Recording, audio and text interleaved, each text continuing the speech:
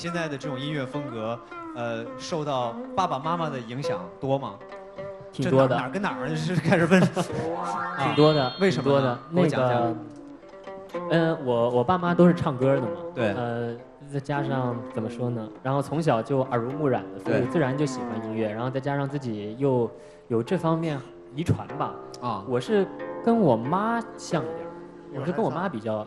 你说是音乐风格还是长相？对对，这个我还得上。长相的话比较折中吧，我觉得。对啊，倒不得罪人哈，就是音乐风格可能受妈妈的影响更多一点。对对对，就是妈妈可能比较喜欢这种古典的、比较优美、柔美的这种音乐。没错，因为从小也是，因为我从小是跟我妈一起生活嘛，所以呃，就听这一类的风格的歌比较多。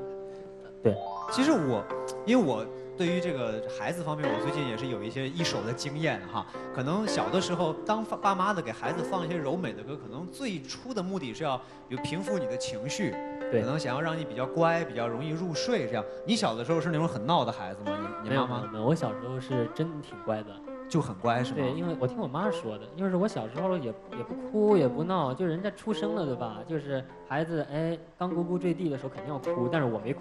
然后他们还以为跟医生还抱怨说会不会是个哑巴呀？然后怎么怎么？对对。然后就急得要死。然后医生说不会啊，不可能啊。然后就往我屁股上狠狠啪一下拍一下。然后我当时就哇就吐出来了。啊，放心了啊，这孩子是正常的。对对对。好像好多医生打孩子都是以这个理由打的。对。小时候好多人挨过打。不过一个人，我们经常说他从小的这个气质其实是能展现出来。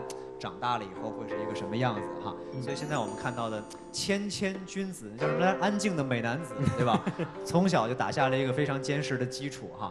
那你自己除了唱歌呢？我也知道你也写歌。那你觉得你创作音乐这个方面，呃，受妈妈的影响还多吗？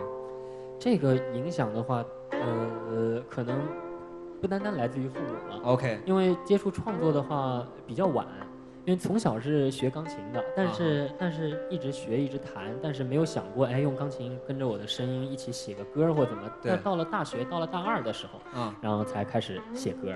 然后有呃对，到大三的时候那个时候。大三的时候。就是呃怎么说呢？我是因为。一开始吧，有一个契机，我就特别羡慕那些能自弹自唱的那些弹吉他人啊，对你弹钢琴，弹钢琴，钢琴不好搬是吧？对对对对。然后我就很羡慕那些自弹自唱，我就看那些，哎呀，好多好多大就是大家，然后弹钢琴唱歌，我觉得哇，好酷！我就觉得我这这么多年这个琴不能白学呀，应该好好的为我的流行音乐服务，不能光弹古典。OK。然后后来我就哎开始扒谱子，就开始。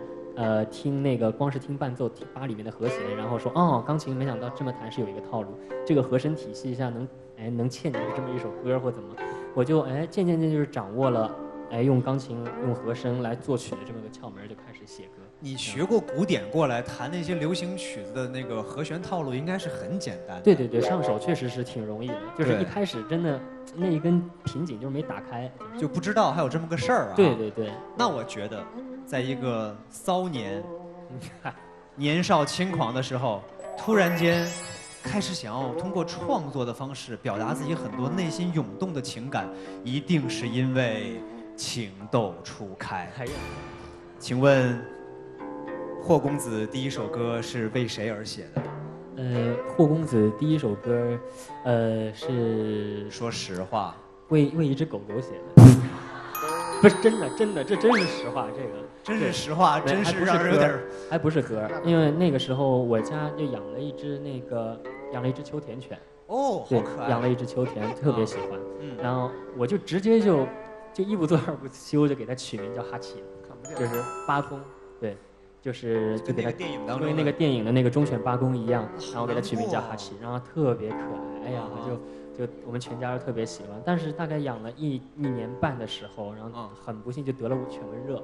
哎呦，真的太太难受了，得了犬瘟热。然后当时我又是在学校，我妈然后怕怕我担心，然后就没跟我说，她就抱着哈奇，然后在在医院里面，就是就眼睁睁的看着他在自己怀里面走掉。所以当时就哎呀，难受的就，我是大概一个一个礼拜以后，然后我妈跟我说的。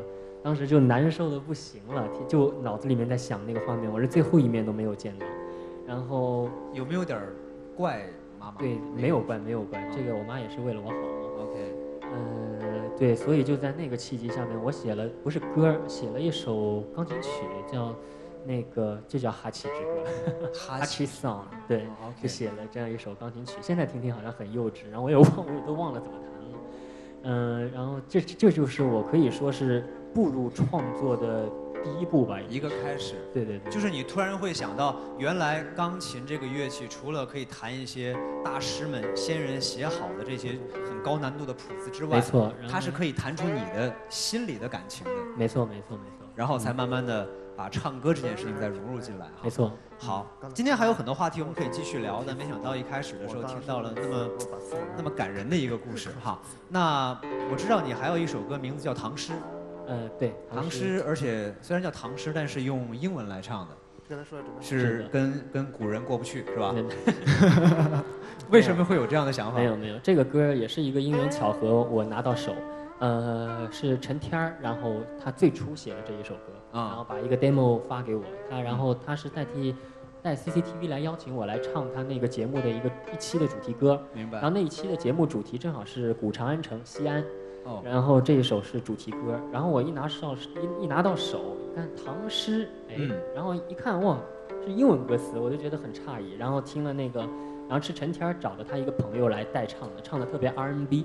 然后我当时听了，哎，其实这个风格跟我还蛮搭的，但有一些地方还不太顺。然后我把主歌都改了一下，然后副歌保留原来的地方，然后就是改的更接近于我的版本。然后发了一版过去，然后他说，哎，这个也很好。然后就这么照这么改，然后就录下来唱了，就有了现在的这个版本。对，然后这次大大家是很奇怪了，就为什么用英文来唱？对，唐诗，因为因为你们不知道那一期节目，那一期节目的主角正好是一个加拿大人，好像是加拿大人，是一个西方人。嗯。然后讲述的是他在西安的游历，然后就探寻，他也感觉自己穿越回了大唐盛世。OK。然后在古长安城里面探寻中国的那种文化那种。感觉，然后就是我觉得，哎，这样子确实是合适的。用英文来唱演绎这么一首很东方、很中国的一首歌，呃，就会感觉意思就是，哎，西方人眼中的中国是什么样子？这样子，我觉得这样一首歌的世界观会更大。是，它等于是一种文化的融合，没错，和交流。嗯，通过你的这个歌唱把它展现出来了。对。那说到文化的融合跟交流，我们既然现在也已经穿越到大唐盛世了，我想在这个茶馆里面，应该有一些会唐诗的人可以出来跟我们比试一下。哎，如果我没有猜错的话，应该还是刚才上来的那个人，还是他，小二啊，果然猜对了，掌声鼓励一下。那咱俩有缘嘛，是吧？你敢说吗？敢说吗？又来了，我怎么那么倒霉，我跟你有缘？叫我敢说吗？就是你不是你不是唐朝人吗？我没说我是唐朝人啊。你是唐朝的河南人也是可以的。嗯，对。萨瓦迪卡。嗨，刚做完手术是吧？东渡过来的。对，关键是刚才我们霍公子说了啊，他有一首歌是这个文化的融合，现场想跟你过过招，看看你这个唐朝人有没有资格当一个唐朝人。嘿。是吧？我跟你说啊，我呀以前中过秀才，那家伙高考，好家伙九百多分，你知道吗？你以前中过什么？啊？你以前中过什么？秀才啊？你中过犬瘟吧？中过秀才。好你说啥我接啥。啊，好嘞，好嘞。你看着，你说啥我接啥。秀才是吧？哎，那秀才应该唐诗就没问题了。啊，对，没问题，啥都没问题。你为什么一定要去那儿把我们美女挡上？对，那那霍公子，咱们给他出题考考他。来吧，强哥先。啊，我看啊，对，呃，君子有成人之美。君子有成人之美，那君子，君子对小啊，小人夺人所爱。嗨，对不对？这是是是这么说的吗？对吧？是不是？说的挺像你自己的。对，我考你还有吗？啊呃，你说。呃，穷则独善其身。